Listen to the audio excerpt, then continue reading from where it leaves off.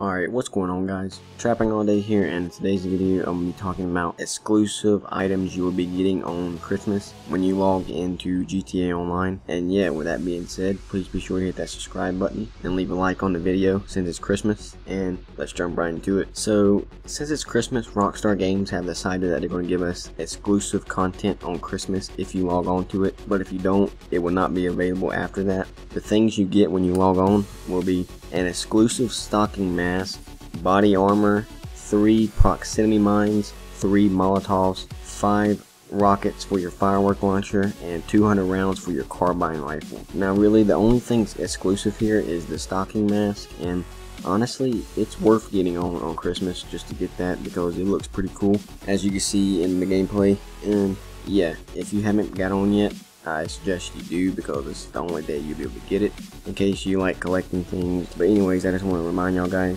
And yeah, I'm trapping all day and I'll see y'all guys on my next video. Peace.